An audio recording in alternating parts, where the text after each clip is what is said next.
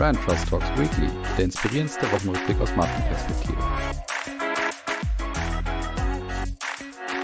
So, liebe Hörerinnen und Hörer, willkommen zurück zu Brand Trust Talks Weekly, eurem Lieblingswochenrückblick aus Marken- und Marketingperspektive. Wir schreiben die KW 43 und natürlich habe ich wieder ganz tolle Themen für euch vorbereitet. Es ist wieder ein Ranking dabei. Es tut mir leid, aber es die sprießen gerade aus dem Boden wie verrückt. Ich habe jetzt gerade wieder eins gefunden, das habe ich jetzt mal direkt rausgelassen, weil wie gesagt, ich kann jetzt ja nicht nur Rankings vorstellen. Stattdessen habe ich noch den Nachfolger von Wir können alles außer Hochdeutsch aus Baden-Württemberg Nürnberg dabei und ich habe Rekordverdächtige. Fünf Fundstücke dabei und eins ist besser als das andere. Könnt ihr euch drauf verlassen und deswegen starte ich jetzt mal. Los geht's. Und wir beginnen, wie gesagt, mit dem Ranking und dabei geht's um das Ipsos Ranking Most Influential Brands Tracking. Und dort fragt Ipsos eigentlich jedes Jahr, und das, das, also dieses Ranking geht schon in das neunte Jahr jetzt, fragt jedes Jahr knapp 1000 Konsumentinnen und Konsumenten aus unterschiedlichen Ländern, bevölkerungsrepräsentativ, Gewichtungen anhand von Zensusdaten und so weiter, erklärt sich alles von selber. Fragen Sie, welche Marken denn praktisch für euch wirklich eine hohe Bedeutung haben und einen hohen Einfluss auf euer Leben ausüben. Und das Spannende ist ja bei diesen Rankings, wenn man da dann fragt, was ist denn für dich eine wichtige Marke, dass da meistens inzwischen natürlich digitale Marken oftmals dominieren und für die Konsumentinnen und Konsumenten eben von enormer Bedeutung sind. Dieses Jahr, beziehungsweise eben das Ranking von 2020, also 2020 wurde es erhoben, zeigt sich dort ein leicht anderes Bild, weil aufgrund von Corona sich auch nicht Digitalmarken spannenderweise auch in das Ranking, beziehungsweise ins, insbesondere in die Top 10 vorgearbeitet haben. Und auch dieses Jahr ist es aber trotzdem natürlich so, dass mit WhatsApp, Amazon und Google natürlich wieder drei Global Player und vor allen Dingen auch Digitalmarken ganz vorne liegen. Aber wie gesagt, Aldi und auch DM haben es in die Top 10 geschafft, interessanterweise genau so auch wie die DHL. Trotzdem ist es allerdings natürlich so, dass die Top 10 mal grundsätzlich nicht nur von Digitalmarken dominiert werden, wo jetzt ein paar Offline-Marken auch noch dazukommen, sondern vor allen Dingen Marken in den Top 10 waren, die letztes Jahr während der Corona-Pandemie, während der Lockdowns etc. von enormer Bedeutung waren, wie zum Beispiel auch PayPal oder auch Netflix. Hinzu kommen auch Samsung, Microsoft und YouTube, aber alles auch ja, passende Marken, die trotzdem irgendwo zu Corona passen und passen zu den Lebensumständen von unserem letzten Jahr passen. Interessant ist bei der, bei dem Ranking, dass es immer auch Unterschiede gibt zwischen den verschiedenen Altersgruppen, die Ipsos dann eben jeweils aufbereitet. Und da habe ich mal drei Highlights für euch noch rausgesucht. Und zwar ist es so, dass es bei jungen Leuten, also bei Menschen zwischen 18 und 34 Jahren, mit DM nur eine einzige nicht digitale Marke in den Top 10 geschafft hat. Und stattdessen natürlich vor allen Dingen Marken im Vordergrund stehen, die sich vor allen Dingen auf den Bereich Entertainment fokussieren. So ist es nämlich, dass Instagram die einzige Marke ist, die ausschließlich bei den 18 bis 34-Jährigen in die Top 10 kommen. Genau im Gegenteil ist natürlich dann erwartungsgemäß bei den älteren Konsumentinnen und Konsumenten, die hier befragt wurden, wo zum Beispiel dann Marken wie Nivea, Aldi, Lidl, Rewe oder auch Edeka dazukommen und es in die Top 10 der jeweiligen Befragten in den jeweiligen Altersgruppen schaffen. Und spannend ist dann noch, was Ipsos eben so übergeordnet praktisch feststellt, nämlich, dass natürlich neue Treiber jetzt immer mehr hinzukommen, die eben Auswirkungen haben darauf, ob jetzt die Marken wirklich relevant sind für die Konsumentinnen und Konsumenten. Und natürlich könnt ihr euch denken, was da jetzt dazu kommt. Es ist das Thema soziales Engagement, Nachhaltigkeit und auch Diversität oder wenn man es neudeutsch sagen möchte, dieses ganze Purpose-Thema letztendlich. Und dort sagen eben die Autorinnen und Autoren von der Studie ganz eindeutig, dass jetzt eben dieser Purpose früher eher nur das Zünglein an der Waage war, wenn es um das Ranking geht und jetzt eher wirklich einen enormen Einfluss hat auf die Position, die die Marken in dem Ranking auch einnehmen. Und da wären unter anderem Marken die Gewinner, wie zum Beispiel Deutsche Bahn, die wir letzte Woche ja zu Gast hatten mit ihrer neuen Kampagne, wo es ja rund um das Thema Klimaschutz geht, aber zum Beispiel auch Marken wie die Sparkasse oder Alnatura. Ja, so viel zum Ranking von Ipsos. Wir gehen weiter zum zweiten Thema und das ist mal erster Hinweis, würde ich sagen, weil das ist eine Kampagne, die morgen, ich nehme heute am Donnerstag auf, und zwar die morgen wahrscheinlich ihre völlige Kommunikation und Publikation auch erfahren wird. Und zwar geht es dort um eine Image-Kampagne von dem Land Baden-Württemberg, die jetzt einen würdigen Nachfolger für die am Ende sehr, sehr erfolgreiche Kampagne suchen, nämlich mit dem Titel Wir können alles außer Hochdeutsch. Und dort hat Jung von Matt jetzt den Auftrag bekommen und auch geliefert, und zwar mit einer, man kann sagen, extremen Guerilla-Marketing-Kampagne, die jetzt seit einigen Tagen schon darauf hinarbeitet, dass eben am morgigen Freitag die neue Kampagne für Baden-Württemberg auch gelauncht wird. Und zwar ist der Kampagnen-Slogan oder so der Kernpunkt dieser neuen Kampagne will, will, will, also das ist jetzt, gehört jetzt genau dazu, weil es ist so ein bisschen so ein Denglisch-Begriff, kann man sagen, oder so eine Mischung. Also willkommen in the land und Land mit Ä geschrieben, also ganz bewusst diese Mischung aus Deutsch und Englisch vielleicht auch. Und natürlich geht's jetzt bei dieser Image-Kampagne für Baden-Württemberg vor allen Dingen darum, Spezialisten und Menschen in gefragten Berufsfeldern auch nach Baden-Württemberg zu locken. Und ich denke, es ist dann kein Zufall, dass man eben ganz bewusst diese Mischung aus Deutsch und Englisch macht, weil es natürlich auch wahrscheinlich darum geht, entsprechend internationale Fachkräfte, zum Beispiel auch im Digitalmarkt, auch anzulocken. Und seit einigen Tagen konnte man deswegen an Bahnhöfen, Ortseingängen, Brücken und so weiter immer mal wieder so Ortsschilder sehen, wo dann eben The Land drauf stand. Hinzu kamen eben auch noch Videos und LKWs, die, die durch die Gegend gefahren sind. All das eben, um so ein bisschen diesen Knall, der anscheinend morgen dann kommen wird, auch dann entsprechend vorzubereiten. Wie finde ich das Ganze jetzt letztendlich? Also ich habe zuerst natürlich auch gestockt und es ist auch grundsätzlich so, dass auch die Stimmen im Netz, wie immer bei solchen Kampagnen, die natürlich auch aus öffentlichen Geldern bezahlt werden, immer auch kritisch gesehen werden. Ist das jetzt nur Geldverschwendung? Ist das eine teure Marketingkampagne, die niemand braucht und so weiter? Ich habe auch ein bisschen gestockt am Anfang, habe dann aber gedacht, naja, es ist schon spannend, es ist halt diese Mischung aus Englisch und Deutsch. Man hat wieder das Ziel, dass man anscheinend irgendwas Ikonisches schafft, was dann vielleicht auch über Jahre oder Jahrzehnte dann auch für Baden-Württemberg steht und dieses Thema Ländle wie er Baden-Württemberg auch gerne genannt wird, dann abzukürzen in so eine etwas englischere Variante, nämlich The Land, finde ich zumindest aus kreativer Perspektive sehr spannend.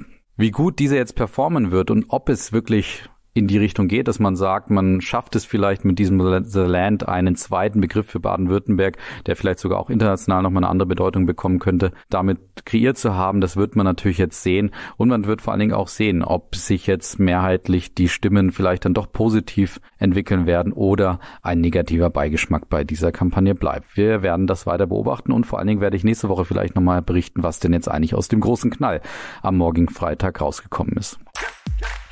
Ja, kommen wir noch zu Gewinner. Verlierer habe ich diese Woche kein und Gewinner ist diese Woche natürlich Tesla, die mal wieder eine enorme Schallmauer durchbrochen haben. Und zwar geht es um den Börsenwert des Automobilherstellers, der diese Woche eben eine Billion Dollar durchbrochen hat.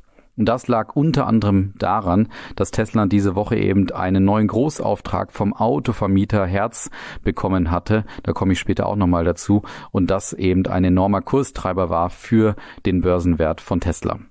Elon Musk selber fand das relativ merkwürdig, dass es einen solch enormen Kursanstieg gab, weil der reine Auftragswert von Herz eben 100.000 Autos ähm, eben beläuft sich dann auf einen Wert von 4,4 Milliarden Dollar. Der Kursanstieg belief sich allerdings auf 100 Milliarden Dollar und das war natürlich dann schon ein deutlicher Sprung, mit dem er anscheinend so auch nicht gerechnet hatte. Spannend ist, wenn man das Ganze nochmal so ein bisschen in Kontext setzt, ist nämlich jetzt so, dass Tesla nun mit dieser Schallmauer mehr wert ist als die nächsten neun größeren Autohersteller zusammengenommen. Und allein der Wertzuwachs an diesem Tag, der wie gesagt bei knapp über 100 Milliarden Dollar lag, war es so, dass das die gesamte Marktkapitalisierung von Daimler überwuchs. Und auch spannend ist dabei noch zu betrachten, dass Musks virtueller Reichtum natürlich jetzt auch noch weiter wachsen wird. Er ist ja eh schon der reichste Mann der Welt, wenn man jetzt das Ganze eben kapitalisieren würde. Elon Musk hat sich allerdings vor Jahren einmal Meilenstein in seinen Vertrag reinschreiben lassen, der sich irgendwann mal extrem lohnen wird wahrscheinlich. Und zwar, dass er bei gewissen Meilensteinen, die er erreicht, und es fehlt jetzt nur noch ein Meilenstein, nämlich dass er die nächsten sechs Monate am Stück über 650 Dollar pro Aktie, also diesen Aktienkurs auf diesem Preis hält. Und dann wird er nochmal eine entsprechende Möglichkeit bekommen, nämlich die Tesla-Aktien, die ja aktuell mehr als 1000 Dollar wert sind, für nur 70 Dollar pro Stück zu kaufen. Und dann würde sich natürlich sein Reichtum und die Möglichkeit da nochmal in eine ganz andere Richtung auch drehen. Und interessant ist dabei auch, dass Musk selber sich dieses Ziel zwar als extrem ambitioniert gesetzt hatte, und zwar gesagt hatte, dass Tesla diese Billionen-Dollar-Grenze in zehn Jahren etwa erreichen wird oder auch knacken wird. Und jetzt waren es nicht einmal vier. Aber trotzdem, er hatte da ein sehr ambitioniertes Ziel und knackt es jetzt offensichtlich. Und das Ganze wird sich finanziell für ihn in den nächsten Jahren auf jeden Fall lohnen, offensichtlich. Und damit kommen wir schon zu den Fundstücken und da starten wir eben mit, wie angesprochen, mit Herz, dem Autovermieter aus den USA, die eben 100.000 Tesla jetzt bestellt haben, diese bis Ende 22 von Tesla auch haben wollen. Und das Ganze bewerben sie auch standesgemäß und mal direkt mit der Football-Legende Tom Brady, der unter anderem ja siebenmal insgesamt den Super Bowl gewonnen hat und ja letztendlich als der erfolgreichste Footballspieler aller Zeiten gilt. Und davon will Herz jetzt eben profitieren und legt Tom Brady eben ins Zentrum dieser Kampagne Kampagne, eben dieser Elektroauto-Kampagne, die sie eben jetzt gerade starten. Und bei Herz ist das Ganze gar kein Zufall. Die Firma, diese Mietwagenfirma kam ziemlich in Probleme und hat unter anderem auch ein Insolvenzverfahren abgeschlossen im Juni und hatte dann eben auch äh, Gläubigerschutz beantragt, sich aber dann wieder sehr rasch berappelt. Und das Motto der aktuellen Kampagne ist eben so, dass man Tom Brady sieht, der eben ständig seinen anscheinend sehr bekannten Schlachtruf Let's Go überall nutzt und eben sagt, an unterschiedlichen Orten steht und immer wieder Let's Go sagt zu einem Fahrstuhl und alles Mögliche, aber da nie so richtig was vorangeht. Wenn er dann aber in das Herz-Auto und den Herz Tesla einsteigt, dann geht's direkt los und da kann er dann sagen, let's go. Und das ist natürlich eine schöne Kampagne, um das Ganze auch zu zeigen und zu vermitteln, dass Herz jetzt offensichtlich auf das Thema Elektroautomobilität setzt, aber vor allen Dingen auch, wie Horizont auch schreibt, das ist eine deutliche Kampfansage an die Konkurrenz, dass man Herz eben nicht abschreiben sollte, trotz der Krise, die sie im Sommer durchlaufen haben.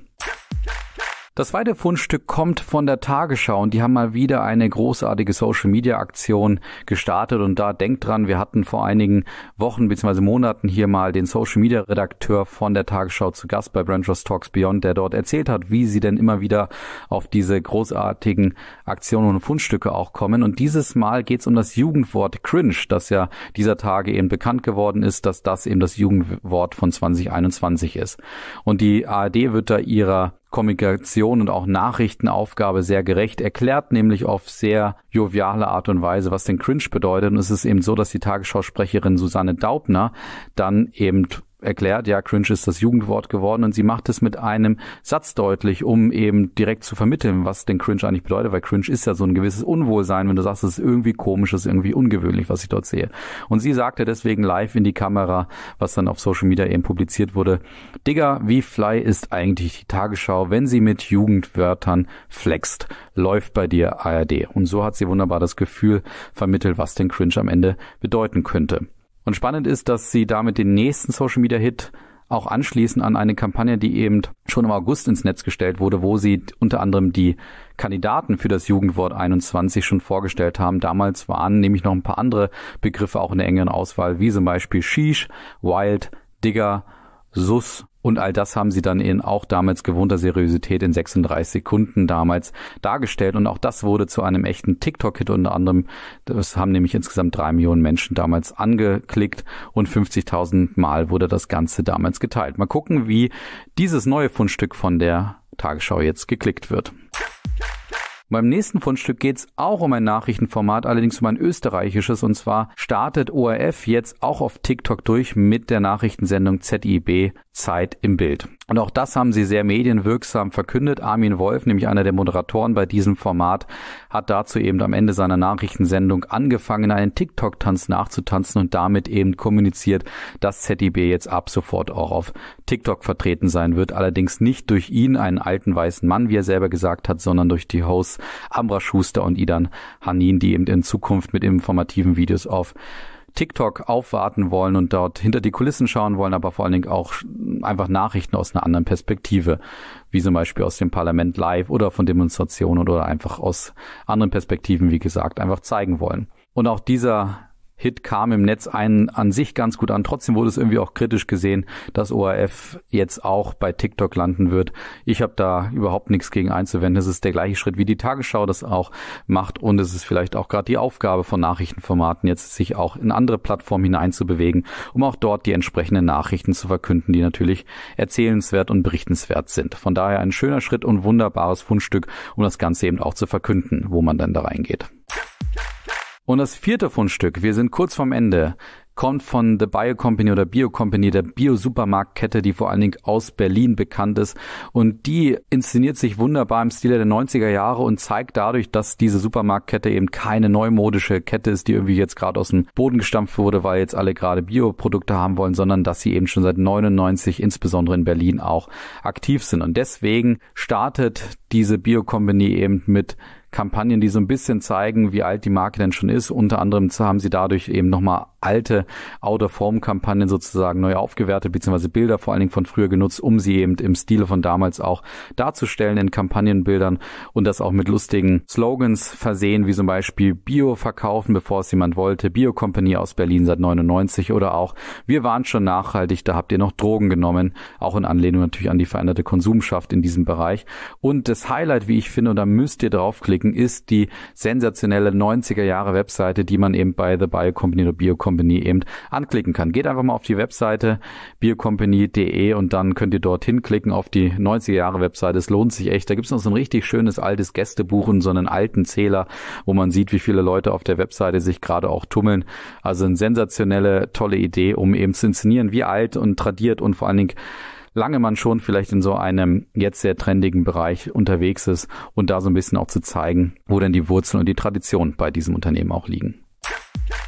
Und das fünfte und letzte Fundstück, und dann habt ihr es geschafft, aber es lohnt sich nochmal, kommt von der BVG, die ja sehr gern gesehener Gast hier sind bei uns im Brand Trust Talks Weekly und vor allen Dingen auch bei den Fundstücken. Und ihr müsst euch einfach mal vorstellen, wenn ihr mit öffentlichen Verkehrsmitteln fahrt und keine Monats- oder gar Jahreskarte besitzt, dann kennt ihr es sicherlich, dass ihr öfter mal nach Kleingeld graben müsst. Also bei mir ist das durchaus so, wenn ich in den Bus einsteige, dann denke ich immer, ich muss vielleicht jetzt ein Ticket kaufen und da muss ich vielleicht Bargeld für haben. Und das ist in Deutschland prinzipiell vielleicht schon noch so eine Antiquität, die wir noch nicht so richtig wegbekommen haben, auch wenn man ins Taxi einsteckt, dass man immer sagt, ja, kann man hier auch mit Karte zahlen oder braucht man Bargeld? Und deswegen startet die BVG jetzt mit einem Pilotversuch zum kontaktlosen Bezahlen und bewirbt das auch sehr medienwirksam und durch eine neue Kamp tolle neue Kampagne, die hier eben jetzt auch zu Gast ist in den Fundstücken.